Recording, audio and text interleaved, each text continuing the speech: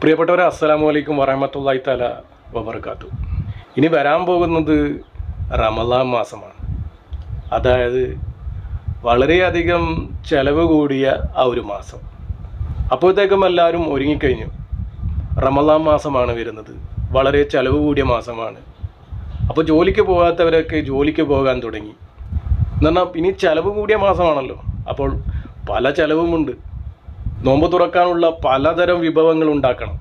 അപ്പോൾ അതിനൊക്കെ വലിയ വില കൊടുക്കേണ്ടി വരും. നോമ്പ് കാലത്ത് നമ്മളെല്ലാം വാരി വലിച്ചു വാങ്ങും.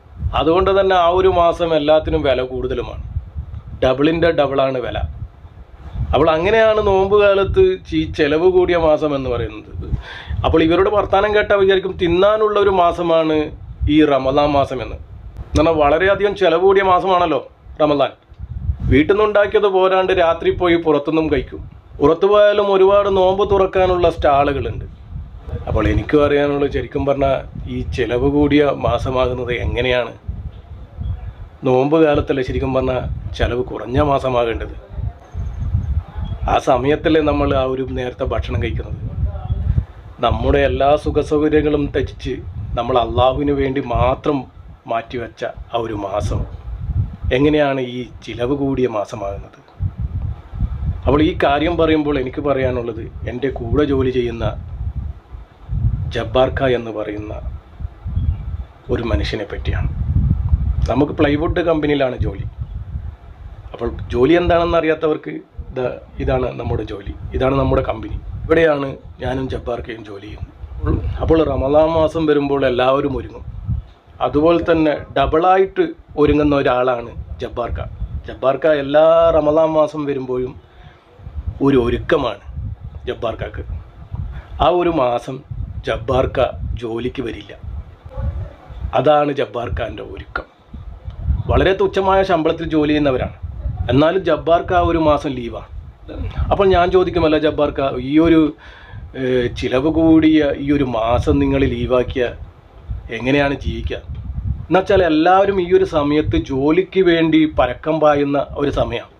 ആ ഒരു സമയത്താണ് ജബ്ബാർക്ക ലീവാക്കുന്നത്. അപ്പോൾ നോമ്പും കഴിയണം പിന്നെ പെരുന്നാൾ ഇതൊക്കെ കഴിയണ്ടേ എന്ന് ഞാൻ ചോദിക്കും. അപ്പോൾ ജബ്ബാർക്കയാണ് എന്നോട് പറഞ്ഞത് എങ്ങനെയാണ് ഈ റമദാ മാസം ചിലവ് കൂടുന്നത് എന്ന്? ജബ്ബാർക്ക് എന്നോട് പറയാ ഈ റമദാ മാസമാണ് നമ്മൾ ഒരു നേരം ആഹാരം കഴിക്കുന്നത്. അതുമാത്രമല്ല നമ്മളെല്ലാ സുഖ സൗകര്യങ്ങളും വെടിഞ്ഞാണ് ആ ഒരു മാസം കഴിയുന്നത്. അപ്പോൾ നമുക്ക് എങ്ങനെയാണ് ചിലവ് കൂടുന്നത്? നമുക്ക് ആ ഒരു മാസം ലാഭകരമല്ലേ? എന്നാണ് ജബ്ബാർ ഖാന്റെ ചോദ്യം. ശരിയല്ലേ? അങ്ങനെയാണ് ഞാൻ ചിന്തിച്ചത്. നമ്മൾ ജോലി സമയത്ത് ഒന്നിച്ചാണ് ഉച്ച ടൈം ഭക്ഷണം കഴിക്കുക. അദ്ദേഹം അദ്ദേഹത്തിന്റെ വീട്ടിൽ നിന്ന് കൊണ്ടുവരും ഞാൻ എന്റെ വീട്ടിൽ നിന്ന് കൊണ്ടുവരും. അപ്പോൾ ഭക്ഷണം കഴിക്കുമ്പോൾ എപ്പോഴും അദ്ദേഹം അച്ചാർ കൊണ്ടുവരുമായിരുന്നു.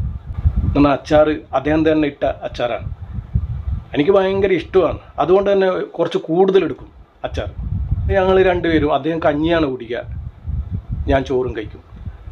അദ്ദേഹം അദ്ദേഹത്തിന് ഇഷ്ടപ്പെട്ടവരോടെ സംസാരിക്കും. അതുകൊണ്ട് തന്നെ എന്നെ ഭയങ്കര ഇഷ്ടമായതുകൊണ്ട് തന്നെ എന്നോടാണ് സംസാരിക്കാനിരിക്കുക. നമ്മൾ ഒന്നിച്ചാണ് റെസ്റ്റ് ചെയ്യുക. അങ്ങനെ ഒരു മനുഷ്യനാണ് ജബ്ബാർക്ക. അപ്പോൾ ജബ്ബാർക്ക പറഞ്ഞത് എത്ര ശരിയാണല്ലേ?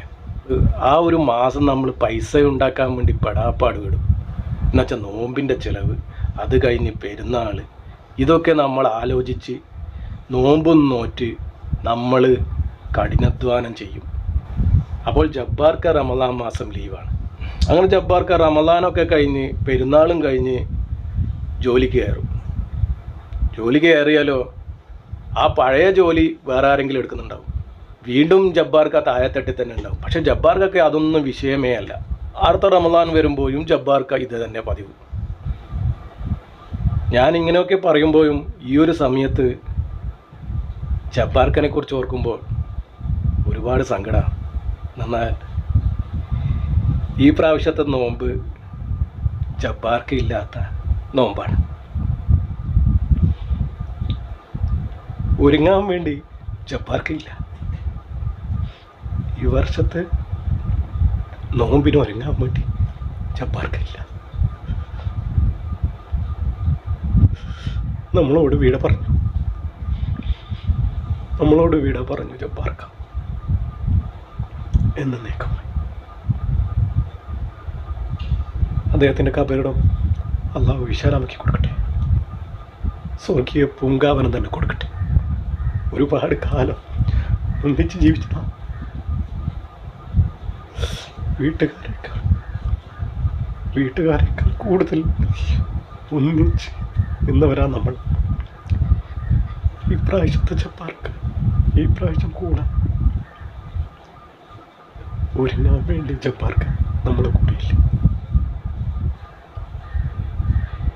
ഈമാനോട് കൂടി തന്നെയാണ് അദ്ദേഹം മരണപ്പെട്ടത്. കബീറിനെ വിശാലമാക്കി കൊടുക്കട്ടെ എല്ലാവരും ദുവാ ചെയ്യണം ഇങ്ങനെ ചിന്തിക്കുന്ന മനുഷ്യന്മാർ നമ്മുടെ ഇടയിൽ ഉണ്ടോ എന്ന് തന്നെ സംശയമാണ്. ഇതുപോലെ ചിന്തിക്കുന്നവരായതുകൊണ്ട് തന്നെ ഒരുപാട് പേരിൽ നിന്നും അദ്ദേഹം അകന്നു നിൽക്കലാണ് അദ്ദേഹം. അദ്ദേഹത്തെ ആരും കൂട്ടുപിടിക്കുകയുമില്ല. അദ്ദേഹത്തിന് പറ്റിയവരോട് മാത്രമേ അദ്ദേഹം കൂട്ടുപിടിക്കൂ.